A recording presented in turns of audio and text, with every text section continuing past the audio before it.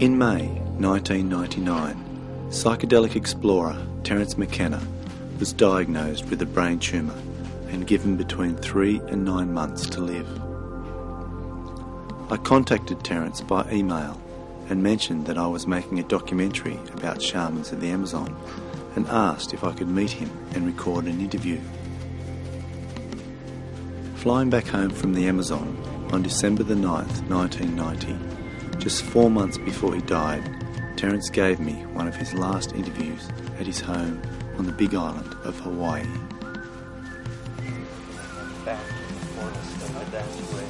It's too bad we don't have more. Terence had tried many natural therapy cures and had also recently undergone gamma knife surgery to try and remove the tumour. You've been here for a while? Oh, I finished the house about two and a half years ago and was here about two and a half years building it, so. Okay. Yeah. Let me get Christy and. Uh,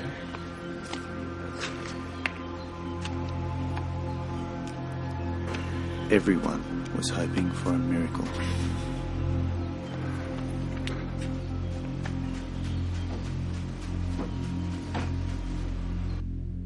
Why do you think governments, uh, most governments in fact around the world, have, um, have banned ayahuasca and, and made most psychotropics illegal? Well, I think a social system is the product of a, a process of, um, you could call it social natural selection, that a civilization produces various religious ideas, political ideas. Some survive and some don't. And it's because the social system is applying selective pressure, and saying universal medical care for all. We don't need that. Uh, sexual flexibility among teenagers. Well, we don't need that. So, um, over time, a social system is built out of what is saved and what is thrown away. And so, when you start putting drugs into a social system that actually promote unusual ideas, you're pushing the most important buttons that a society has the buttons that shape what it believes about life and death and value and marriage and childbearing and all these things.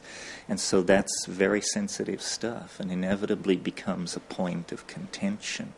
And societies will arm wrestle over that, up to and including putting you away for 20 or 30 years for a half a gram of grass or something the war on drugs that America's sort of pushing around the world, um, what do you think the effect is of that and, and, who's really behind it, do you think? Well, wasn't the struggle against communism a kind of struggle against ideas and who thinks what and who is permitted to believe that people should be paid more than $3.80 an hour for whatever labor they're asked to do and some of this other stuff. So, capitalism, if it doesn't have enemies, it will create enemies. It will point out these people or these people. And so, I think it's a thing like that, that it's a struggle to control the political agenda and to i'm not a marxist i don't have much patience with that but i do think how Marxism has talked about the value of work and worth and the productivity of the masses and all that.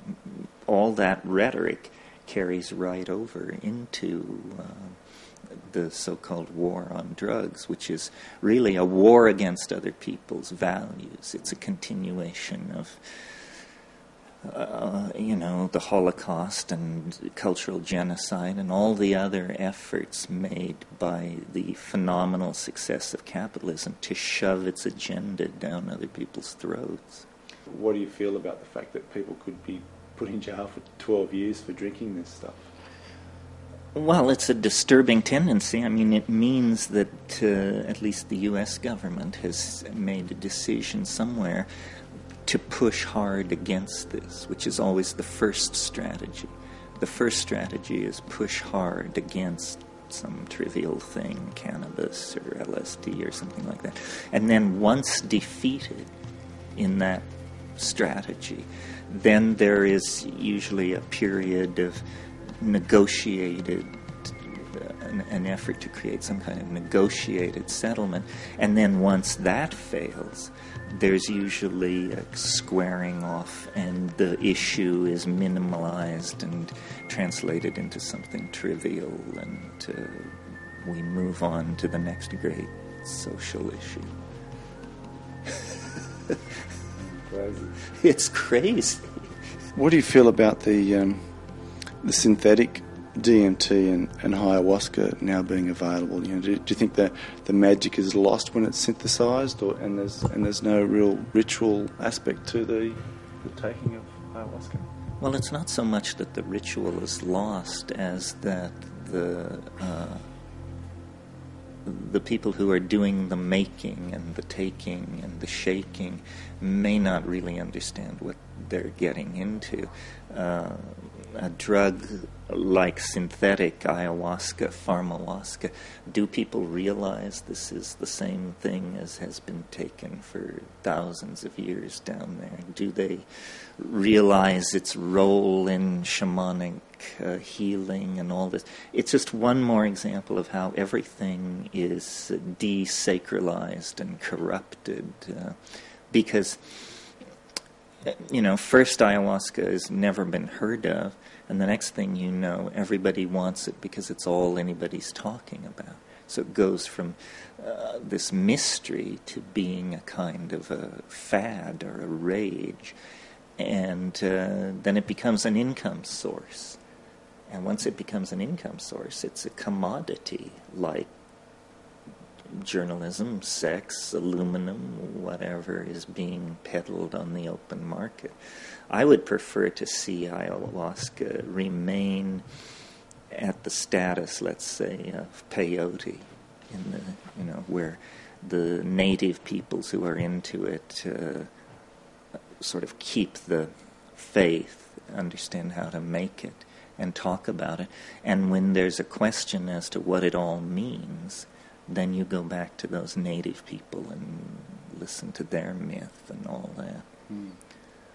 There is data to show that ayahuasca is um, medically effective against uh, malaria and uh, indus- industrial intestinal parasites mm. and things like that. So really, it's a basic part of this native medical system. And if instead of trying to put everybody in prison, we actually, uh, you know, try to do research on this stuff and find out how it works and how it affects various conditions, we would probably extract its benefit much more quickly. Mm-hmm. Okay, so what about the, the combination of ayahuasca and the, the psychotria viridis? Um, that seems to be a magic combination. Um, how is it that the the DMT is able to be absorbed in the in the stomach, whereas if yeah, if you could just explain that relationship. Well, it involves the interrelationship between. Uh, uh, a brain mind system that has had all the monoamine oxidase taken out of it pharmacologically. And all these psychoactive drugs seem to have a bigger, more dramatic impact in the presence of a lowered MAO threshold. And how this was discovered by Amazonian Indians millennia ago and not discovered by Western science till 1956 or something just one of those peculiar facts about ethnobotany and ethnomedicine. But it's certainly true that you have a much more dramatic effect with the two in combination. Uh, and uh, how many of these kinds of uh, facts of folk science are out there to be discovered. We don't really know yet, but slowly it's all being unraveled it's never been explained, you know, why there are so many plant psychedelics in the New World. Um, the cohoba snuffs, the ayahuasca, the uh, mushrooms in the New World, Salvia divinorum. All of these things are New World, and this has been a social phenomenon, the exploration of which has been pretty much pushed by New World anthropologists and philosophers. If we'd had to depend on European philosophy for the content of the century, we'd all be reading Jacques Derrida and. Uh, you know, those kind of people. So it's a local phenomenon that's become global. The way we value the earth, the way we value commodities, the way we extract them and manufacture them into saleable goods, this, this will all be seen in a different way, I think. And um, again, it's an issue of capital and labor and how you value what you put your life into and that sort of thing. Well, what the shamans know that we don't is which plants, how, and where.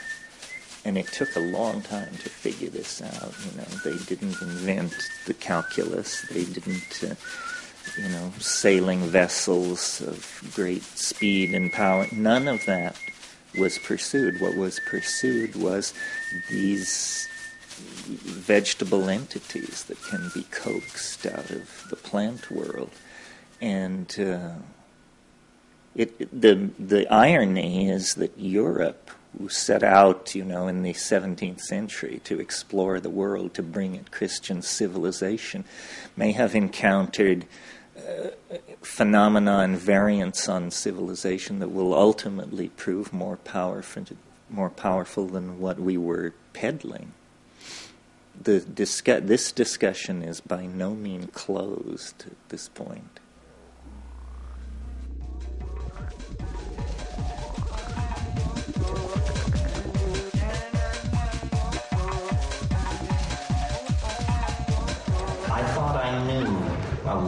About psychedelics before I encountered DMT, and it showed me that I knew virtually nothing.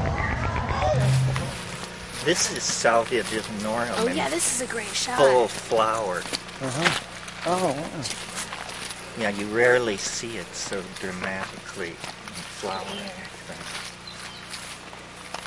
It's this one. Yeah, Salvia divinorum, yeah. And what uh, flowers. what are the effects of these? What do, what part do you use?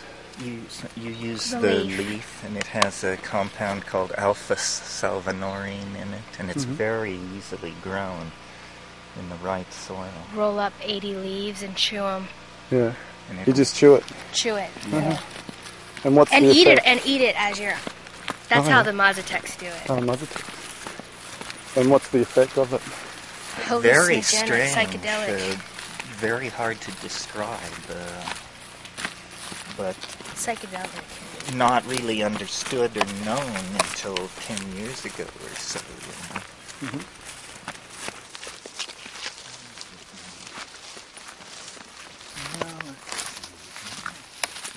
See the salvia all through here. Uh huh. and what's the legal status of that? It's, It's legal. completely legal. Amazingly enough. well, let's see.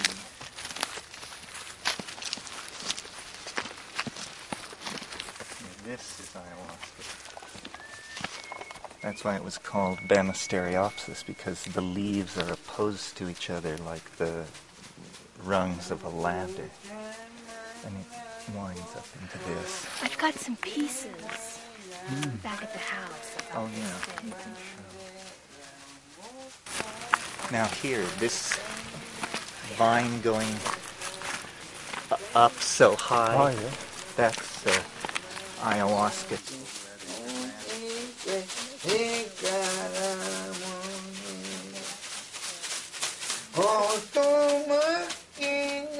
Well, I think the shaman offers an immense example of courage. The shaman is not afraid of things which modern, postmodern people are afraid of, specifically madness, a kind of madness. Uh, people are afraid of drugs because they associate it with some kind of ultimate unhingement. uh, as we gain shamans who can speak to us in our own vocabulary, this will f- fade away. This is, to some degree, the motivation for my career. Is basically to say, to, to give people permission to say, it's safe, it's scary, it's weird, but you're not going to end up in a straitjacket in some back ward. You'll live through this. Uh, it's no more terrifying than the world's largest roller coaster or one of those places. so, permission is what I find people want from me. They want me to say, Yes, I did it. It was very scary. Uh, I live to tell the tale.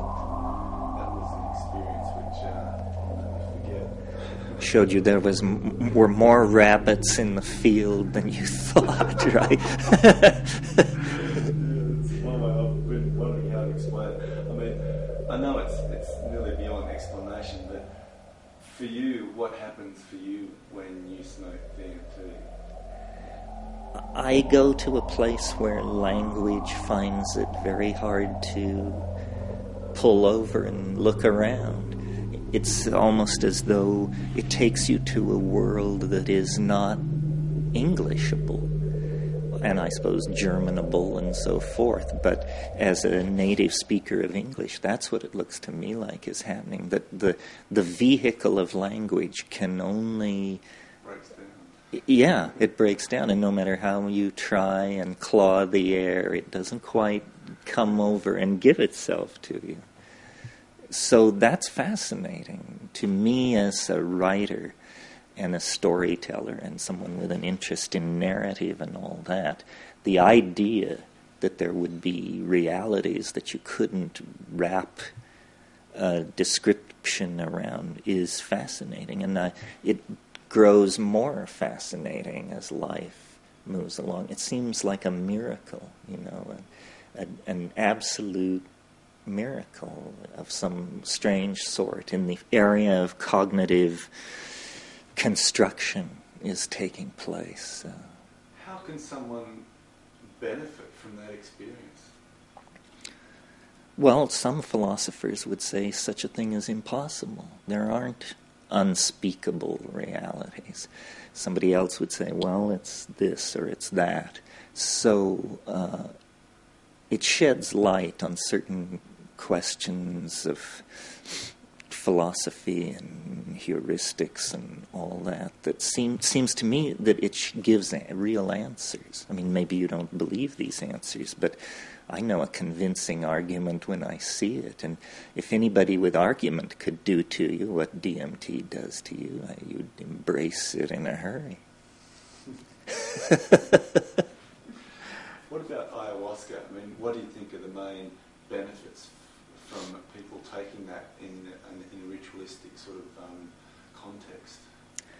Well, we're long away from ritual. And uh, I, th- I think rituals are what we need. That that's why we create sports leagues and beauty pageants and all these things, simply to, uh, you know, reassure ourselves that in these ritual confined spaces, these energies can be held, you know. And uh, it's the part we are most distant from.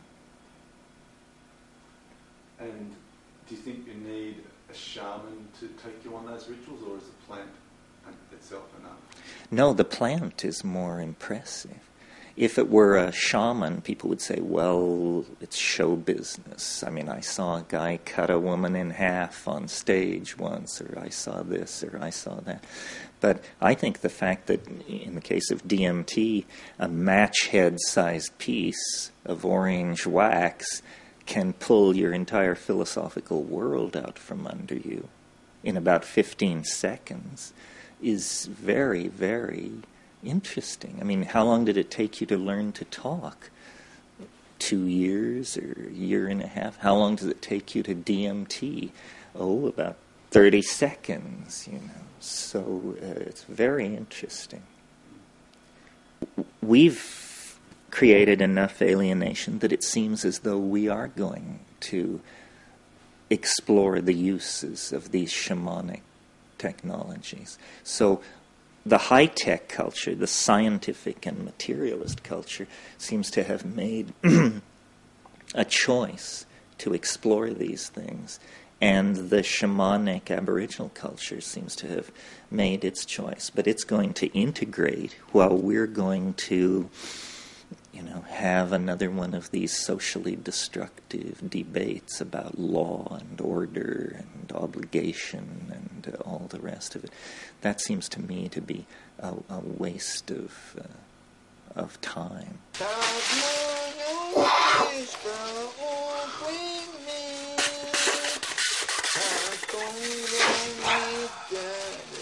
What do you think ayahuasca has to offer um, humanity at this point in time uh, that changes the millennium?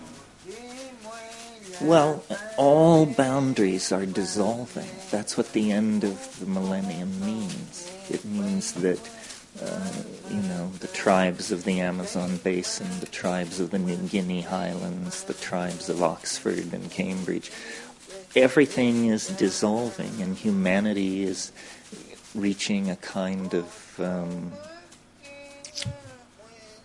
plural consensus. I mean, even the most sophisticated capitalist, let us say, is aware now that it won't do to cut down all the trees, that that's a mistake. So, what's happening is a single human viewpoint is sort of coming into existence. A viewpoint that values nature, uh, values natural resources, and tries to, however clumsily, to make some kind of peace out of the whole human mess that we're now mixed up in. I think what it brings is a, an empathy to the destruction of the planet you, you know, the cutting of a rainforest is suddenly no longer completely abstract. It's actually something you can feel and relate to. And all political change begins with a change of feeling and value. So, you know, if we begin to see the Aboriginal people of every continent as the holders of this knowledge, they will begin to look not so naive, not so foolish or something like that, but actually as sophisticated people who have developed a working relationship with these powers and things. And uh, that's the only way you're going to get real political change on some of these issues. If we were having this discussion 30 years ago, we would not be talking about ayahuasca. We'd be talking about mushrooms and their potential and the, you know. So I I think the the plants change, the drugs change, but the challenge stays the same, and the challenge is to build a a humane and human world without doing damage to the humanity that's already in it. So, what's your view for the future? You know, do you do you feel confident or pessimistic, optimistic that humanity can take on this challenge? It requires dedication and intelligence, not so much among our shaman and our uh, inner voyagers, uh, but among the legislators and the people who actually uh, are going to have to make the social change. That's why what goes on in the Netherlands is so important. You know, these are the most liberal people in the world. Well, are they liberal enough to actually change the basic structure of their society? I mean, talk is easy, but can they actually make the change? What they're trying to do is establish the notion of a thought crime. You know, that it's, it's a crime to consider restructuring the state this way or this way. And uh, that will, you know, the, if we have not learned anything from the 20th century, we should have learned that wars of ideology are hopeless and just bring incredible grief and loss of life. So I'm hoping that what the 21st century can mean is movement beyond ideology and an actual uh, rational, and I think it is rational approach to integrating the irrational into how we think about society, city planning, social management, and all the rest of it. So, what were you saying about the um, patenting of ayahuasca? Um, well, some years ago, a dozen years ago or more, a fellow patented ayahuasca. Somehow this happened. It's not supposed to be possible with plants. And then uh, a group of several South American tribes put a lawsuit on him. And it took a lot of money and years and years to work this to the Supreme Court. And about two weeks ago, uh, the Supreme Court ruled that you can't patent a plant, that a plant is not an invention. It's uh, not made by human genius. It is a product of nature. So no plants can be patented, and that patent was declared void. So that's a, that's a good thing. Well, There is a thing called the UN Conven- Convention on Narcotics, which was something that when the US and NATO and all that completely controlled the UN, they produced this document, which, if you signed it, you were basically joining this club which said you would commit resources, time, manpower to uh, eradicating all these drugs. And uh, that was pretty much done through the late 50s and then on into the 60s. And then, of course, LSD was very threatening because you can get, um, you know, a hundred thousand hits under one postage stamp. Well, for somebody who's trying to control something that they look upon like nerve gas or something, a weapon, quote, weapon, with that kind of a description makes people very nervous indeed. And uh, so it came out of there. So, why do you think um, psychedelics are so threatening to these establishments? Because they produce unexpected ideas and conclusions. That's what strange politics does. You know, you go in a Freemason and a Republican, and you come out God knows what, a polyamorist and an anarchist or something like that. you talk about the dominated culture in, in, in your books. Um, what uh, do you think that has any reasons why um, these plants have been uh, made illegal? Yeah, because they nibble away at the edges of orthodoxy. I mean, once you get the idea that a mushroom can talk to you in your native language and propose various things, life never looks quite the same again, you know. I mean, in a sense, you could say civilization was the journey from fairyland to scientific materialism. Well, then there you are. You think you've conquered scientific materialism, but here's a mushroom, here's a vine, here's a morning glory, and they all give you a message back that is just so peculiar. You, don't know what to do with it. Well, there's a lot of evidence and discussion about whether or not it gives you telepathic powers or science fiction like powers. This could be. I mean, two brains six feet apart are both biochemical oscillators. It would not, I wouldn't consider it a miracle if it were found that uh, brains floating in ayahuasca have a kind of supernatural connection. And if the tendencies of past history are to continue, that's what it would have to be that we're on the brink of designing drugs, of moving our technological design process to a point where we can actually design drugs that extract power from them that we never had or dreamed of before. And that would carry us well beyond the Industrial Revolution. I mean, that would be the new world. And just again briefly, um, your recent journey um, facing whatever it is that you've faced, um, you know, death, whatever. I mean, has there been any revelations for you about um, your journey, about death, about where you're going? You mean you're referring to the fact that I have uh, uh, glioblastoma multiforme, which is a form of brain cancer?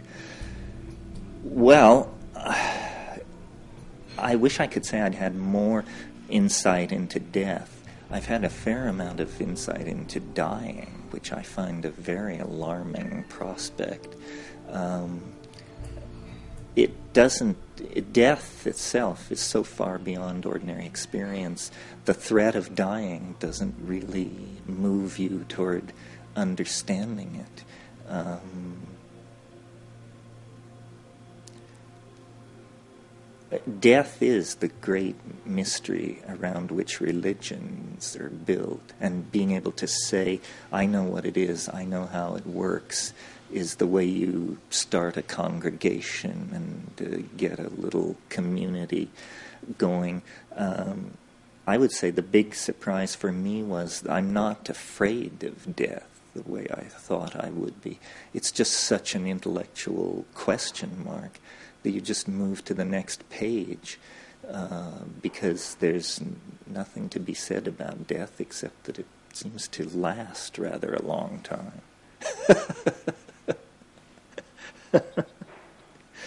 if you have one thing that you wanted to say to people from all your learnings that you've had, you know, through your life, um, what would that one message be to to someone? That following your own curiosity is um, a better method for exploring the world than any of the methods offered. Sheer curiosity is. Uh, the thing that I've always let carry me along, and uh, I have no regrets about any of this. Uh, I think it's worth the life to uh, put these issues in front of people.